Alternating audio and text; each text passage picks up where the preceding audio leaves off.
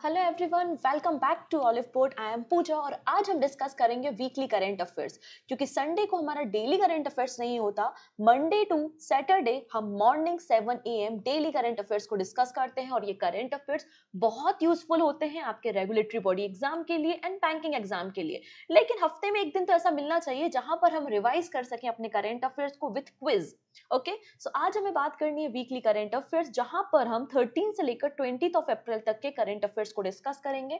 Topic of discussion क्या क्या रहने वाला है, मैं आपको आइडिया दे देती हूँ। सबसे पहले हम बात करेंगे इंपॉर्टेंट डेज़ एंड थीम जो भी पर्टिकुलर वीक में न्यूज़ में था। देन हम बात करेंगे पर्सन इन न्यूज़ और फिर बैंकिंग न्यूज़ जो भी बैंक से रिलेटेड न्यूज़ थी एमओयू साइन हुए हैं, उन सारी बातों को डिस्कस करेंगे और अंत में होगा आपका एक क्विज जिसमें आपको 35 क्वेश्चंस देखने को मिलेंगे। इन क्वेश्चंस का आप आंसर करेंगे और अपना जो भी स्कोर होता है, वो आप हमें कमेंट सेक्शन में बता सकते हैं। इसके अलावा एक क्वेश्चन ऑफ़ द डे भी होगा। इसका आंसर भी आप हमें कमेंट सेक्शन में दे सकते हैं।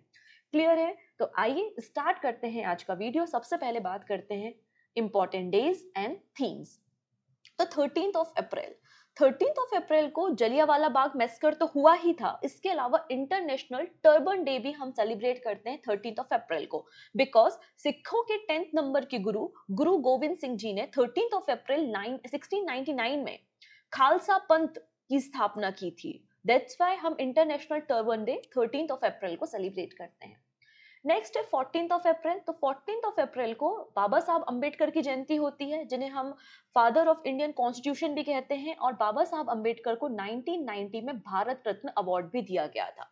इसके अलावा फोर्टीन ऑफ़ अप्रैल को हमने सेलिब्रेट किया वर्ल्ड क्वांटम डे ठीक है? वर्ल्ड क्वांटम डे बेसिकली इस दिन की थीम क्या है? तो आप देखेंगे raising a quantum ready workforce ये इसकी थीम आपको देखने को मिलेगी। फिफ्टींथ ऑफ़ अप्रैल को वर्ल्ड आर्ट डे सेलिब्रेट किया। सिंस 2012 इस दिन को हम सेलिब्रेट कर रहे हैं एंड थीम है a garden of expressions cultivating community through art अब आर्ट के बाद आता है वॉइस सिक्सटीन ऑफ़ अप्रैल को हमने वर्ल्ड वॉइस डे सेलिब्रेट किया एंड 1999 से हम इस दिन को सेलिब्रेट कर रहे हैं। थीम है एडुकेट सेलिब्रेट ये इस साल यहाँ पर थीम थी। अब अगला जो दिन है, वो बहुत इंपॉर्टेंट है। ऐसे क्वेश्चन एग्ज़ाम में बनते हैं। सेवनटीन ऑफ़ अप्रैल को हमने सेलिब्रेट किया वर्ल्ड हीमोफीलिया डे हीमोफीलिया एक जेनेटिक डिसऑर्डर है, जिसका रिलेशन आपके ब्लड से है। इसकी थीम थी equitable access for all recognising all bleeding disorder done next है eighteen of April very important day world heritage day eighteen of April को सेलिब्रेट किया और थीम है discover and experience diversity next है नाइनटीन ऑफ़ अप्रैल इसको correct कर लेंगे। Nineteen of April को हमने सेलिब्रेट किया वर्ल्ड लीवर डे ठीक है? थीम है keep your liver healthy and disease free तो ये कुछ इंपॉर्टेंट डेज़ थे। अगर इन सारे दिनों में मैं बोलूँ कि कोई दो इंपॉर्टेंट डेज़ हैं जिनको आपको नहीं भूलना है, वो है world heritage day and world haemophilia day बाकी सबको थोड़ा सा भूल भी जाओ तो चल जाएगा, लेकिन इन दोनों दिनों को नहीं भूलना है और ना ही इनकी थीम भूलना है। चलिए अब बात कर लेते हैं पीडीएफ के बारे में। सो so, पीडीएफ के लिए आप कुछ मत कीजिएगा सिंपली ऑलिवुड के एप्लीकेशन को डाउनलोड करना प्ले स्टोर से वहाँ से आपको daily current affairs weekly current affairs monthly magazine और मंथली आपको जो कंपाइलेशन होता है उसकी वीडियोस आपको मिल जाएँगी। मार्च मंथ का मंथली कंपाइलेशन खत्म हो चुका है अगर आपने वीडियो नहीं देखे हैं तो आप बिल्कुल प्लेलिस्ट में जाके देख लीजिएगा। इसके अलावा हमने लॉन्च किया है YouTube PDF बंडल कोर्स इस कोर्स में क्या अवेलेबल होता है? इस कोर्स में आपको सारी की सारी जितनी भी YouTube पे क्लासेस ये सारी टॉपिक्स की क्लासेस होती हैं, इनकी पीडीएफ एक ही जगह पे मिल जाती है तो आपको नोट्स बनाने में आसानी होगी और आपको यहाँ पे वन ईयर का सब्सक्रिप्शन मिलेगा। तो मतलब आप एवरी मंथ की यहाँ पर मैगजीन भी डाउनलोड कर सकते हैं, जो आपके आने वाले एग्ज़ाम में डेफिनेटली मदद करेगी। वीडियो पसंद आता है यूजफुल लगता है तो बिल्कुल अपने फ्रेंड्स के साथ आप शेयर कर सकते हैं। और पहली बार आ रहे हो तो सब्सक्राइब करके तो जाना बनता ही है। ठीक है? चलिए अब बात करते हैं पर्सन इन न्यूज़ जो भी पर्सन इस पर्टिकुलर वीक में न्यूज़ में थे। सो so, पहले पर्सन जो बहुत इंपॉर्टेंट है और जो न्यूज़ में थे वो है Gopi Chand Thotakura. And second Indian बनने वाले हैं जो कि स्पेस में जाएँगे। आप सभी को पता है 1984 में पहले इंडियन थे राकेश शर्मा, जो कि स्पेस में गए थे। इसके अलावा गोपी चंद्र विजयवाड़ा से बिलोंग करते हैं और ये पहले इंडियन स्पेस टूरिस्ट भी होंगे। Basically Blue Origin company Blue Origin company का एक मिशन है, जिसका नाम है एन एस ट्वेंटी फाइव और इसी मिशन से ये स्पेस में भेजे जाएँगे। क्लियर ये कुछ क्रू मेंबर्स है जो कि गोपी चंद के साथ स्पेस में जाने वाले हैं। डन यहाँ पर देखिए हमारा डिस्कशन जो होगा वो थोड़ा शॉर्ट में होगा, क्योंकि डेली करंट अफेयर्स में ऑलरेडी हमने काफ़ी डिटेल में डिस्कशन किया हुआ है राइट यहाँ पर एजेंडा ये है कि आपका रिवीजन करा सके, आपको मैक्सिमम न्यूज़ में कवर करा सकूँ मिनिमम टाइम पीरियड में राइट नेक्स्ट है एफ़ मतलब फाइनेंशियल सर्विसेज़ इंस्टीट्यूशनल ब्यूरो इन्होंने रिसेंटली रिकमेंडेशन किया है सिडबी के चेयरमैन एंड मैनेजिंग डायरेक्टर होंगे मनोज मित्तल। तो मनोज मित्तल का नाम आपको याद रखना है। ये आने वाले समय में मैनेजिंग डायरेक्टर एंड चेयरमैन होंगे सिडबी के। इसके अलावा संजय शुक्ला। संजय शुक्ला मैनेजिंग डायरेक्टर होंगे एनएचबी मतलब नेशनल हाउसिंग बैंक के। अभी जो फाइनेंशियल सर्विसेज़ इंस्टीट्यूशनल ब्यूरो है, ये डिपार्टमेंट ऑफ़ फाइनेंशियल सर्विसेज़ मतलब मिनिस्ट्री ऑफ़ फाइनेंस के अंदर काम करता है, जिसका चेयरमैन अपॉइंट किया जाता है by the central government right next है, Anurag Kumar appointed as a joint director in the CBI तो सीबीआई मतलब सेंट्रल ब्यूरो ऑफ़ इन्वेस्टिगेशन में ज्वाइंट डायरेक्टर अपॉइंट हुए हैं अनुराग कुमार। क्लियर इनका टेन्योर 2027 तक रहने वाला है। नेक्स्ट है, यहाँ पर सेकेंड प्राइम मिनिस्टर बन गए हैं प्राइम मिनिस्टर नरेंद्र मोदी, जिनका फ़ोटो यहाँ पर फीचर किया गया था कहा? न्यूज़ वीक कवर में। आप यहाँ देख सकते हैं, ये न्यूज़ वीक के जो जर्नलिस्ट हैं, उन्होंने इनका इंटरव्यू किया था और अपना कवर पेज में इनका फ़ोटो लगाया। पहली पर्सन थी इंदिरा गांधी जी मतलब पहली प्राइम मिनिस्टर थी जिनका फ़ोटो लगाया गया था। क्लियर नेक्स्ट है Sushil Kumar appointed CMD of Satluj Jal Vidyut Nigam limited. तो सतलज जल विद्युत निगम लिमिटेड के सीएमडी अपॉइंट हुए हैं Sushil Kumar. Done Satluj Jal Vidyut Nigam limited government of India and government of Himachal Pradesh का एक joint venture है and 1988 में इसका formation किया गया था। नेक्स्ट पर्सन के बारे में बात करते हैं UK first women high commissioner to India तो यूके ने पहली बार इंडिया में अपना हाई कमिश्नर भेजा है, जो कि फीमेल है, और उनका नाम है लिंडी कैमरून अगर आप यहाँ पर Scotland England Wales and northern Ireland को मिला लेते हैं तो आपको देखने को मिलेगा UK done next Lokesh Muni honoured with American president gold volunteer service award तो American president gold voluntary service award शुरू हुआ था 20 uh, 2003 में। बेसिकली कोई भी पर्सन वॉलेंट्री वर्क करता है अमेरिका में 500 आवर्स तो उनको ये अवार्ड दिया जाता है। तो यहाँ पे जैन आचार्य लोकेश मुनि जी को ये अवार्ड दिया गया है और ये पहले इंडियन मॉन्क है। डन नेक्स्ट अगली जो पर्सन है, ये बहुत इंपॉर्टेंट है, हो सकता है एग्ज़ाम में पूछ लिया जाए इनका नाम। नाम है क्रिस्टलियाना जॉर्जिवा और इन्हें रीअपॉइंट किया है इंटरनेशनल मॉनिटरी फंड का MD for another five years पहले से ही ऑलरेडी एमडी है सिंस 2019 2019 से आपको एमडी देखने को मिलेंगी। ठीक? अगले पर्सन है Tarun Bajaj. Tarun Bajaj former revenue secretary to head US India tax forum तो यूएस इंडिया टैक्स फोरम का फॉर्मेशन 2020 में हुआ था और इसके हेड अपॉइंट किए गए हैं तरुण बजाज। तो तरुण बजाज भी एक इंपॉर्टेंट नाम है, आप याद रखेंगे। नेक्स्ट पर्सन के बारे में बात करते हैं, नाम है सलमान रशदी और सलमान रशदी एक बहुत ही फ़ेमस ऑथर हैं राइटर हैं। इन्हें 1981 में बुकर प्राइज भी मिल चुका है इनकी बुक मिड नाइट चिल्ड्रंस के लिए। करेक्ट अभी रिसेंट इन्होंने एक बुक लॉन्च की है जिसका नाम है नाइफ डन नेक्स्ट बात करेंगे Monte Carlo master recently concluded हुआ है। ये टेनिस टूर्नामेंट है बेसिकली और इसे क्ले कोर्ट में खेला जाता है। ठीक है? अब मॉन्टे कार्लो मास्टर किसने जीता है? तो थर्ड टाइम ये टाइटल जीता है स्टीफेनोस तीसीपास ने। और ये आपको ग्रीस के टेनिस प्लेयर देखने को मिलेंगे और इन्होंने नॉर्वे के कैस्पर रूट को डिफीट करने का काम किया है। नेक्स्ट बात करते हैं प्राइम मिनिस्टर ऑफ़ सिंगापुर तो अभी रिसेंटली जो प्राइम मिनिस्टर है सिंगापुर के, उनका नाम है ली हेंसलुंग ली हेंसलुंग इनका नाम है और इन्होंने बोला है कि मैं स्टेप डाउन कर दूँगा क्योंकि ये सिंस 2004 सिंगापुर के प्राइम मिनिस्टर हैं। और इनका टेन्योर बेसिकली टेन्योर तो एंड नहीं हो रहा, इन्होंने खुद ही स्टेप डाउन किया और फिफ्टीन ऑफ़ मे से न्यू प्राइम मिनिस्टर होंगे सिंगापुर के लॉरेंस वोंग लॉरेंस वोंग जो कि अभी डिप्टी प्राइम मिनिस्टर हैं सिंगापुर के। डन नेक्स्ट है। Wisden. Wisden names England's Nat Brunt as the world leading female cricketer तो यहाँ पे विजडन ने रिसेंटली अनाउंस किया है कि वर्ल्ड की लीडिंग फीमेल और वर्ल्ड के लीडिंग मेल क्रिकेटर कौन से हैं?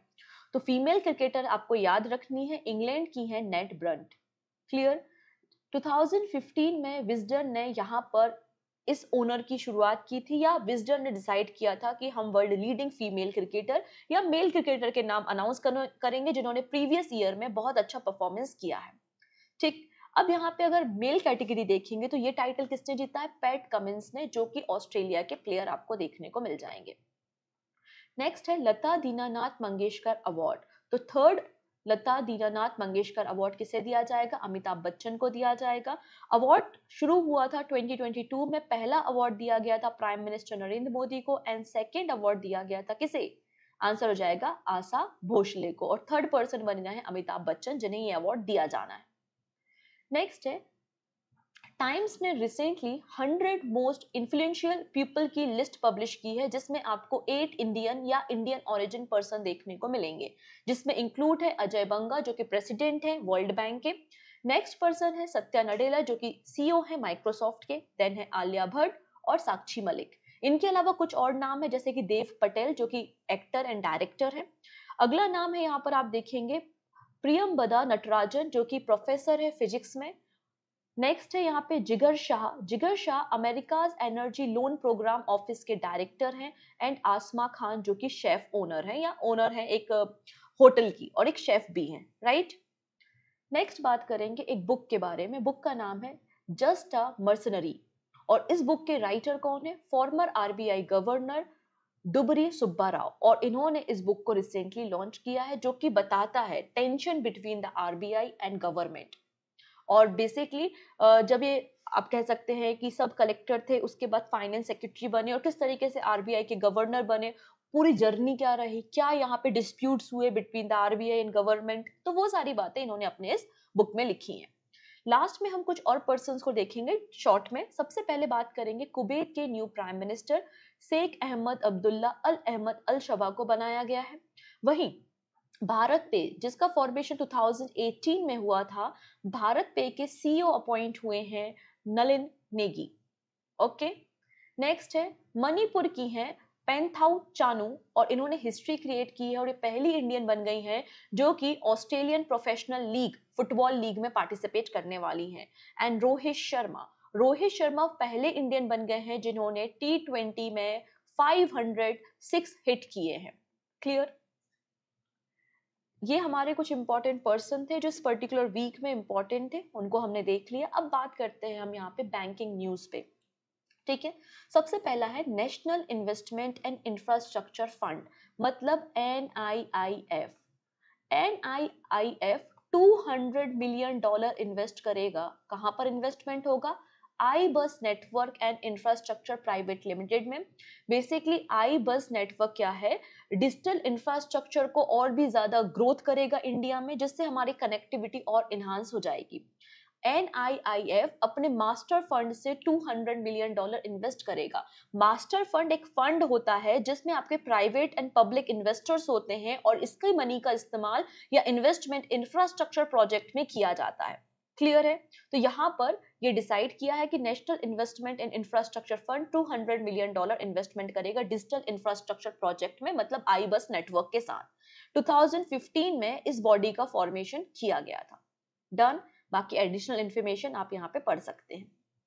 डन नेक्स्ट है H D F C bank become the first private bank to open branch in Lakshadweep तो यहाँ पर देखेंगे लक्षद्वीप यूनियन टेरिटरी में अपनी पहली प्राइवेट ब्रांच या पहला कोई बैंक जिस, कोई पहला प्राइवेट बैंक जिसने अपनी ब्रांच को लक्षद्वीप में ओपन किया है, वो कौन सा है? HDFC बैंक है।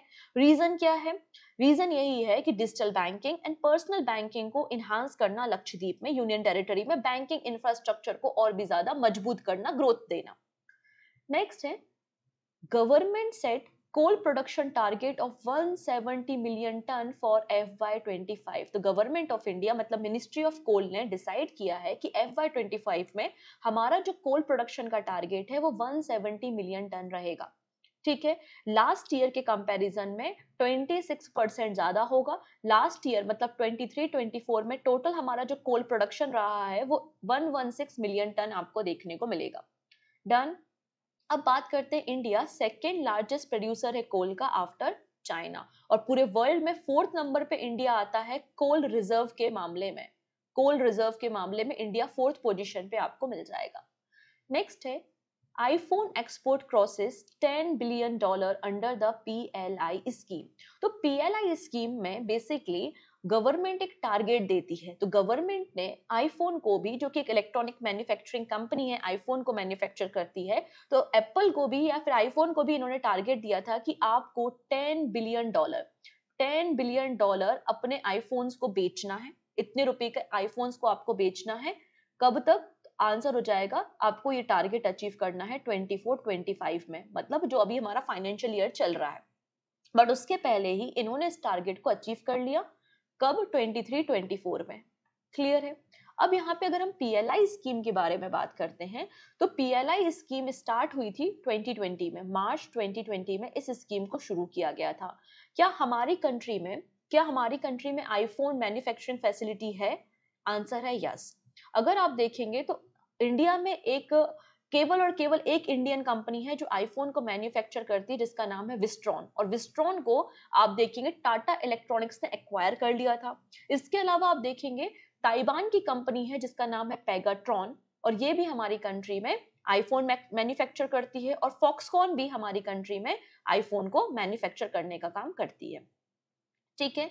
ये कुछ एडिशनल इंफॉर्मेशन है अबाउट द पीएलआई आप इसे भी पढ़ सकते हैं। नेक्स्ट है आधार एटीएम तो India post payment bank ministry of communication ने यहाँ पर आधार एटीएम को रोल आउट किया है।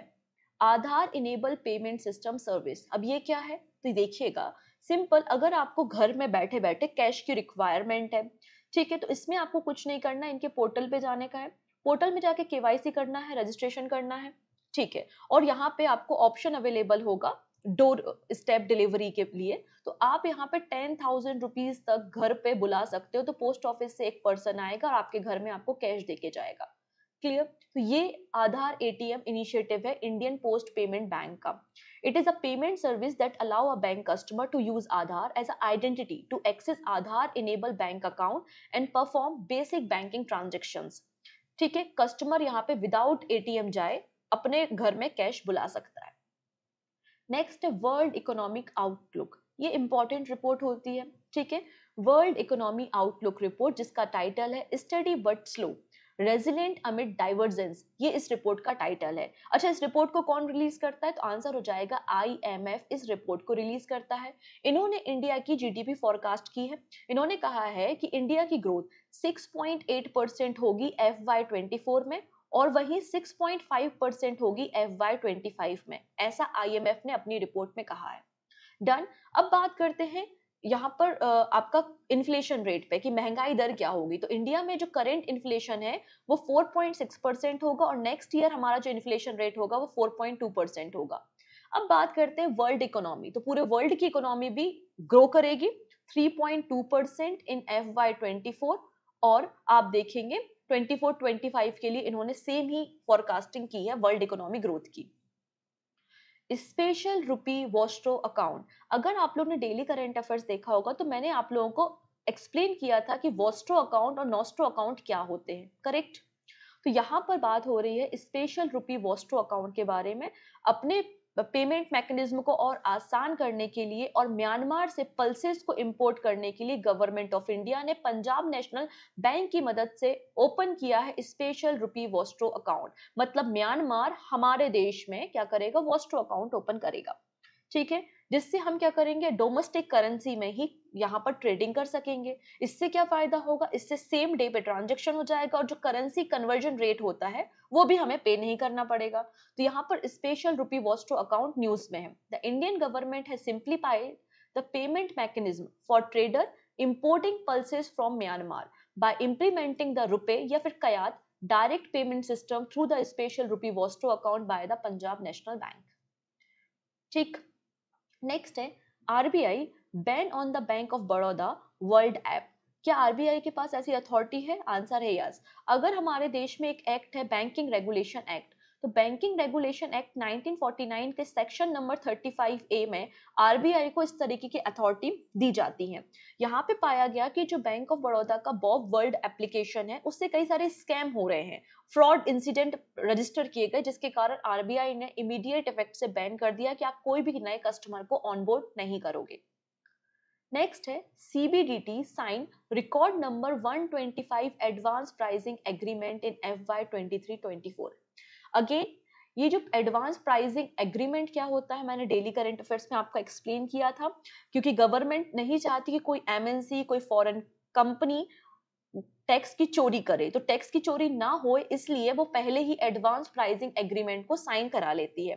तो central board of direct tax ने 125 एडवांस प्राइसिंग एग्रीमेंट साइन किए हैं 23 24 में, और जब से एडवांस प्राइसिंग एग्रीमेंट स्टार्ट हुआ है मतलब 2012 से तो पहली बार इतने ज़्यादा एग्रीमेंट को साइन कराया गया है बाय द सीबीडीटी ठीक है? मैं इसे एक्सप्लेन कर चुकी हूँ, यहाँ पर अवेलेबल है, आप इसे पढ़ सकते हैं। और ज़्यादा डिटेल के लिए आप डेली करंट अफेयर्स फॉलो करोगे तो ज़्यादा बेटर है, क्योंकि आपको ये नई नई टर्म सीखने को मिलेंगे कि आखिरकार एडवांस प्राइसिंग एग्रीमेंट होता क्या है। डन नेक्स्ट है श्रिंकफ्लेशन इसका कंसर्न गवर्नमेंट ने शो किया है। ठीक है? तो श्रिंकफ्लेशन क्या होता है? तो श्रिंकफ्लेशन क्या है? जब आ, जो आपके कॉस्टिंग होती है मैन्युफैक्चरिंग कॉस्टिंग वो इंक्रीज हो जाती है। या आप कह सकते हैं कि जो इनपुट कॉस्ट है वो इंक्रीज हो जाता है। तो हमारे जो मैन्युफैक्चरर्स हैं वो क्या करते हैं? आपकी प्राइस को सेम रखते हैं बट आपके क्वांटिटी को डिक्लाइन कर देते हैं। फॉर एग्ज़ाम्पल फॉर एग्ज़ाम्पल कोई प्रोडक्ट है फिफ्टी ग्राम का प्रोडक्ट है जो आपको टेन रुपीज़ में मिलता है। तो यहाँ पे क्या करेगा मैन्युफैक्चर इस प्रोडक्ट को कर देगा 40 ग्राम्स का, लेकिन टेन रुपीज़ प्राइसिंग सेम रखेगा। तो ये आपका क्या है? हिडन इन्फ्लेशन है। आपको तो लग रहा है कि दस रुपए में ही वो प्रोडक्ट मिल रहा है, लेकिन इसकी क्वांटिटी में कमी कर दी गई। इसे हम श्रिंकफ्लेशन के नाम से जानते हैं। तो shrinkflation refer to the practice of reducing the size of the product while maintaining it sticker price इसे हम हिडन इन्फ्लेशन के नाम से भी जानते हैं। ठीक है? इसका इम्पैक्ट हमारे देश में पड़ रहा है क्योंकि इनपुट या फिर कॉस्ट जो प्राइस है इनपुट की मैन्युफैक्चर को जो रॉ मटेरियल की प्राइस है, वो इंक्रीज हो रही है। ठीक? नेक्स्ट बात करेंगे। India's electronic export increased 23.6% to 29.12 billion in FY24. तो FY24 में अगर आप देखेंगे, हमारे देश से इलेक्ट्रॉनिक्स एक्सपोर्ट काफ़ी ज़्यादा हुए हैं और प्रीवियस ईयर के कंपैरिजन में हमने 23.6 परसेंट से ग्रो किया है। इन एफ़ वाई हमारी कंट्री से जो टोटल इलेक्ट्रॉनिक एक्सपोर्ट हुआ है, वो twenty nine point one two billion dollars का आपको देखने को मिलेगा। एंड टॉप एक्सपोर्टिंग मार्केट कौन सा है, जहाँ पे इंडिया सबसे ज़्यादा मैन्युफैक्चर या आपका इलेक्ट्रॉनिक्स प्रोडक्ट को मैन्युफैक्चर एक्सपोर्ट करती है। तो आंसर हो जाएगा, आप यहाँ पे देखेंगे USA UAE Netherlands UK and Italy ठीक? Done next UNCTAD UNCTAD report project India's economy to growth by 6.5% in 2024. Again मैं बोलूँगी, यहाँ पे कुछ इंपॉर्टेंट लिस्ट होती है। फॉर एग्ज़ाम्पल आईएमएफ की रिपोर्ट्स होती हैं। इसके अलावा वर्ल्ड बैंक का डेटा होता है। वर्ल्ड बैंक के बाद आप देखेंगे एशियन डेवलपमेंट बैंक का डेटा होता है। आपका आरबीआई का डेटा है। एन आपका एनएसओ का डेटा होता है। इसके अलावा आपका ये अंकटाट की रिपोर्ट हो गई। ठीक है? ये कुछ ऐसे इंपॉर्टेंट रिपोर्ट्स होती हैं या इनकी इंपॉर्टेंट फोरकास्ट फोरकास्टिंग होती है जो एग्ज़ाम में पूछी जाती है। ठीक है?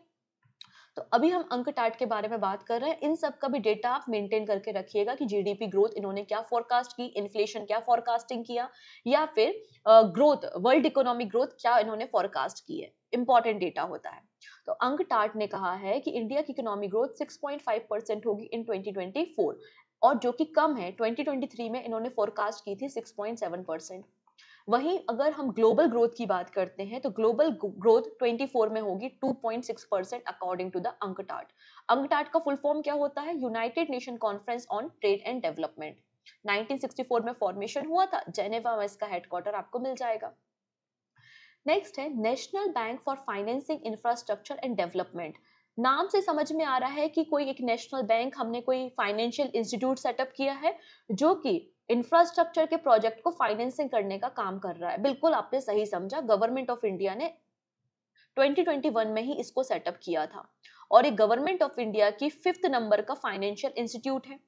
यहाँ पर इन्होंने पोस्ट किया है कि हमें 24 एफ़ वाई ट्वेंटी में जो टोटल प्रॉफिट हुआ है 1601 करोड़ रुपीस का टोटल प्रॉफिट हुआ है और जो लोन हमने डिसबर्स किया है या डिस्ट्रीब्यूट किया है वो कितना है? 35,000 करोड़ रुपीस का लोन हमने दिया है इंफ्रास्ट्रक्चर प्रोजेक्ट के लिए। ठीक है? जैसा कि मैंने कहा ये फिफ्थ नंबर का फाइनेंशियल इंस्टीट्यूट है। इसके अलावा फोर इंस्टीट्यूट आपको देखने को मिलेंगे। आपका नबार्ड है सिडबी है एग्जिम बैंक और एनएचबी है।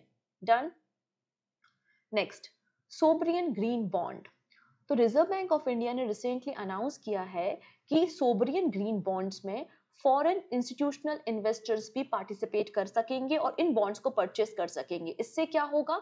इससे ये होगा कि जो सोबरियन ग्रीन बॉन्ड से हम फंड रेज करते हैं, वो इंक्रीज हो जाएगा। ठीक है? कैपिटल इसकी और इंक्रीज हो जाएगी, जिससे हम ज़्यादा से ज़्यादा क्लाइमेट चेंज और एनवायरमेंटल रिलेटेड प्रोजेक्ट में इन्वेस्ट कर पाएँगे। इसलिए गवर्नमेंट ने या आरबीआई ने यह फैसला रिसेंटली लिया है। ठीक। नेक्स्ट है Max health care institute invest 2500 crore rupees in Lucknow तो यहाँ पे मैक्स हेल्थ केयर इंस्टीट्यूट ने कहा है, हम 2500 करोड़ रुपीस लखनऊ में इन्वेस्ट करेंगे और यूपी को largest private health care firm बनाएँगे। इसके अलावा मैक्स ने ये भी कहा है कि अभी हमारे जो टोटल कैपेसिटी है बेड कैपेसिटी पूरे इंडिया में, वो 40 टू 100 बेड्स की है। हमें इसे डबल करना है मतलब 80 टू 100 बेड्स की कैपेसिटी हमें अचीव करना है next four to five years में। इसलिए हम 5000 करोड़ रुपीस हमारा टोटल प्लान है कि इतना इन्वेस्ट करेंगे। इनमें से 2500 करोड़ रुपीस हमारा इन्वेस्टमेंट कहाँ पर होगा? लखनऊ में होगा। ठीक है? नेक्स्ट है इम्पोर्टेड इन्फ्लेशन एडीबी मतलब एशियन डेवलपमेंट बैंक ने वार्निंग दी है। अब इम्पोर्टेड इन्फ्लेशन क्या होता है? तो यहाँ पे ऐसा तो होता नहीं कि कोई भी कंट्री सेल्फ सफिशियंट होती, हमें कुछ ना कुछ रॉ मटेरियल अदर कंट्री से इंपोर्ट करना होता है। और जब इंपोर्ट किया हुआ प्रोडक्ट की प्राइस बढ़ती है तो हम उसे इम्पोर्टेड इन्फ्लेशन कहते हैं। एक्चुअली जो वेस्ट की कंट्रीज़ हैं, वहाँ पर बैंक्स ने इंटरेस्ट इंटरेस्ट रेट को हाई कर दिया है। तो इंटरेस्ट रेट हाई होने के कारण जो हम प्रोडक्ट इंपोर्ट कर रहे हैं, उसकी वैल्यू भी इंक्रीज हो रही है, जिसे हमने इंपोर्टेड इन्फ्लेशन नाम दिया है। इसके बारे में एशियन डेवलपमेंट बैंक ने इंडिया को वार्निंग दी है। अच्छा इंपोर्टेड इन्फ्लेशन को हम एक और नाम से जानते हैं कॉस्ट इन्फ्लेशन ठीक? Done next S B I life introduce ideation X for life insurance innovation basically first edition S B I life insurance ने लॉन्च किया है, आइडिएशन एक्स का।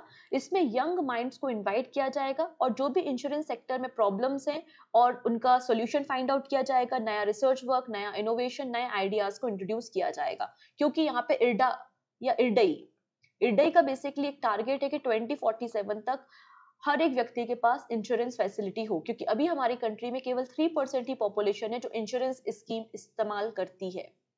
डन तो ये हमारी बैंकिंग से रिलेटेड न्यूज़ आपको देखने को मिलेंगी। तो हमने यहाँ पे इंपॉर्टेंट डेज़ कवर कर लिया देन हमने पर्सन इन न्यूज़ भी देख लिया और बैंकिंग न्यूज़ भी देख ली। अब बात करते हैं थर्टी फाइव क्वेश्चन के बारे में, जिनका आंसर आप हमें करेंगे और अपना स्कोर बताएँगे कमेंट सेक्शन में। डन पहला है, भारत पे को founder and former managing director Ashneer Grover will launch a new app call the zero pay इसका पर्पस क्या है? जो ज़ीरो पे एप्लीकेशन लॉन्च होने वाली है इसका पर्पस क्या है? तो इसका पर्पस है provide medical loans provide medical loans option number D यहाँ पे करेक्ट हो जाएगा.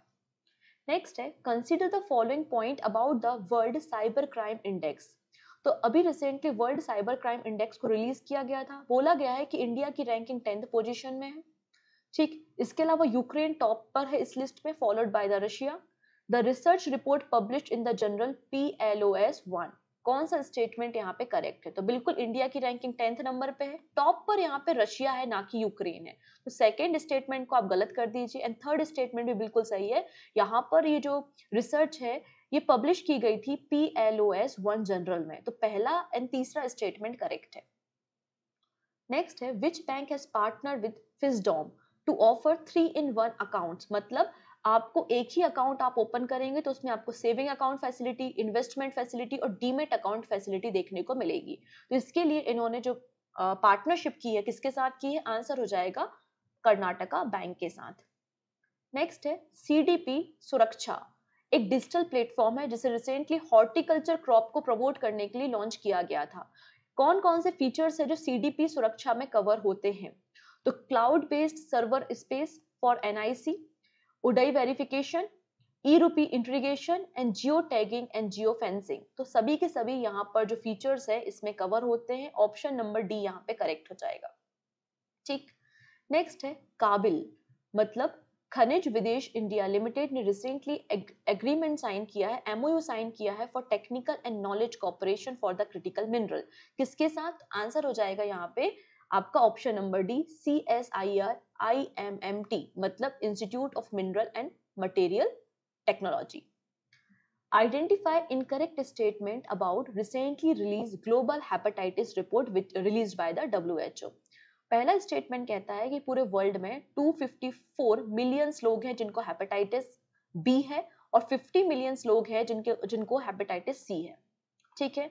Estimated number of death hepatitis के कारण इंक्रीज हुई हैं। 2019 में ये डेथ 1.1 मिलियन थी और 1.3 मिलियन डेथ्स हो गई हैं 2022 में। India accounted 11.6 percent of the global burden and ranked first for hepatitis B and C cases and man account for 58 percent of all global hepatitis cases तो देखो डब्ल्यू की report है, ये बात सही है। ग्लोबल बर्डन जो इन्होंने कहा है, ये बात भी सही है। डेथ रेट इंक्रीज हुई है, ये बात भी सही है। इंडिया ग्लोबल बर्डन है 11.6 परसेंट, ये बात तो सही है, लेकिन इंडिया फ़र्स्ट नंबर पे नहीं है, इंडिया सेकंड नंबर पे है, फ़र्स्ट नंबर पे है चाइना, एंड थर्ड नंबर पे है इंडोनेशिया, एंड डी ऑप्शन भी सही है कि 58 परसेंट जो पेशेंट है, वो आपके मेल है। तो यहाँ पे गलत स्टेटमेंट कौन सा हो जाएगा? ऑप्शन नंबर थ्री इनकरेक्ट हो जाएगा, ठीक है? Next, defence ministry has sign and issue a tender worth rupees 65000 crore rupees to which company for the purchase of 97 LCA Mark 1 fighter aircraft manufactured in India. तो recently defence ministry ने 65,000 करोड़ रुपए का एक tender pass किया है और 97 mark one fighter jets को purchase करेगी। किससे? आपका आंसर हो जाएगा यहाँ पे एच से। हिंदुस्तान एरोनॉटिक्स लिमिटेड नेक्स्ट है मूडी तो मूडी के अकॉर्डिंगली इंडिया की इकोनॉमिक ग्रोथ क्या होगी एफ़ वाई ट्वेंटी फोर में? आंसर क्या हो जाएगा यहाँ पे? Option number A 6.1 percent bank of Tokyo Mitsubishi UFJ will acquire how much stake in HDB financial service a non banking subsidiary of HDFC bank at the valuation of 9 to 10 billion dollar तो सही answer हो जाएगा कि HDFC bank की जो subsidiary है H HDB financial service इसके आप देखेंगे 20% स्टैक को एक्वायर किया है। Done India and which organization has recently launched an expression of interest for a startup working in the area of battery recycling technology for the electrical vehicles. तो यहाँ पर India और यूरोपियन यूनियन प्रमोट करेंगे startup किस sector में battery recycling technology for electric vehicles next है what is the name of the project started by the Indian Army for induction of indigenously developed automated air defense control and reporting system To boots it air defence capability तो Indian army ने एक project launch किया है जिसका नाम है आकाश तीर। ठीक है? आकाश तीर। ऑप्शन नंबर सी करेक्ट हो जाएगा। इसको रेडी किसने किया? डेवलप किया है बीईएल e ने।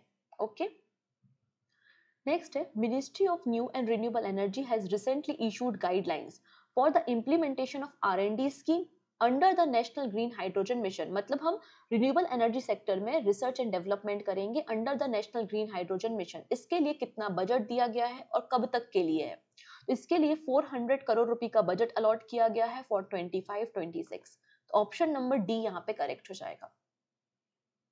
नेक्स्ट है who has been honoured with the American president gold voluntary service award 2024 तो फ़र्स्ट इंडियन मॉन्क बन गए हैं Jain Acharya Lokesh Muni. Option D is the right answer next है Swiggy has launch a new initiative Swiggy Pawlice what is the main purpose of it तो यहाँ पर ये पेट searching के लिए है मतलब for finding missing pets option B is the right answer Recently, Iran has launched hundreds of drone. And missile against the Israel under which operation so यहाँ पर सही आंसर हो जाएगा operational true promise option A is the right answer exercise Dustlik जो कि एक joint military exercise है between India and Uzbekistan begin in the Termez district of Uzbekistan ये कौन सा एडिशन है? आंसर हो जाएगा दिस इज़ फिफ्थ एडिशन ठीक? To the plastic overshoot day report which country has won the uh, sorry according to the plastic overshoot day report, which country has one of the lowest per capita plastic waste production rate globally? तो per capita plastic waste production सबसे कम आपको India में देखने को मिलेगा 8 के ठीक है? Option B is the right answer who was recently named South Asian person of the year by the Harvard University तो इनका नाम क्या है? आंसर हो जाएगा Avantika Vandanapu. Option D India government gifted 35 ambulance and 66 school buses to the which country in April 2024 तो India ने नेपाल को ये एंबुलेंस और स्कूल बसेस गिफ्ट की हैं। तो ऑप्शन बी बिल्कुल करेक्ट है। नेक्स्ट है the airport council international world has rank Delhi Indira Gandhi international airport as the blank busiest airport in the world तो आप देखेंगे जो इंदिरा गांधी इंटरनेशनल एयरपोर्ट है, वो वर्ल्ड का टेंथ नंबर का सबसे बिजिएस्ट एयरपोर्ट आपको देखने को मिल जाएगा। अब बोला गया है who is the author of the book Knife answer बड़ा आसान है इसका तो Salman Rushdie option C recently who won the national women's carrom title for the twelfth time तो twelfth time national women's carrom title किसने जीता है? इनका नाम है Rashmi Kumari. Option A is the right answer Recently, which state is leading in implementing the Green Credit Program? With over 500 land parcel for the tree plantation? तो अभी recently MP government ने 500 land parcels को approve किया है, जहाँ पे plantation किया जाएगा under the green credit programme तो आंसर क्या हो जाएगा? यहाँ पर option C is the right answer MP recently ISRO has decided to achieve debris free space by which year मतलब हम स्पेस से सारा कचरा हटाने की कोशिश करेंगे, जो डेड सैटेलाइट से जो वर्किंग नहीं हो रहे हैं, उनको हम वहाँ से रिमूव करेंगे तो so आंसर हो जाएगा यहाँ पे टारगेट है हमारा 2030 का option C with whom has the Greenfield Noida International Airport signed an agreement for the fuel pipelines? Answer is BPCL. ये आपको 34 किलोमीटर की पाइपलाइन देखने को मिल जाएगी एविएशन फ्यूल को ट्रांसपोर्ट करने के लिए नेक्स्ट है what was the India's electronic export in F Y twenty four F Y में अभी हमने देखा हमारा इलेक्ट्रॉनिक एक्सपोर्ट कितना था? Twenty nine point one two billion dollar का। ठीक है? ऑप्शन डी नेक्स्ट है UNCTAD according to the UNCTAD F Y twenty four में इंडिया की इकोनॉमी ग्रोथ कितनी प्रोजेक्ट की गई है? आज ही हमने देखा है, कितना कहा है इन्होंने? Six point five percent next है which bank has signed an MOU with Indian mortgage guarantee corporation to provide mortgage guarantee backed home loan product in the affordable housing segment तो यहाँ पर मॉर्टरेज गारंटी कॉरपोरेशन के साथ bank of India ने partnership की है। Option C बिल्कुल correct हो जाएगा। Company has launch the first edition of ideation X answer as S B I life insurance ठीक। Tiranga barfi recently got a GI tag belong to the with city of Uttar Pradesh तो उत्तर प्रदेश top पर है with 75 GI tags answer हो जाएगा Varanasi. Option D. Submersible platform for acoustic characterisation and evolution मतलब space space को recently कहाँ पर इनोग्रेट किया गया है? आंसर हो जाएगा केरला में किया गया है। Option A world future energy summit 2024 कहाँ पर ऑर्गेनाइज की जा रही है? आंसर है आबू धाबी ठीक है? Next Which Indian institute play an important role in the Sri Ram Surya Tilak program in Ayodhya? Answer है IIA मतलब Indian Institute of Astrophysics.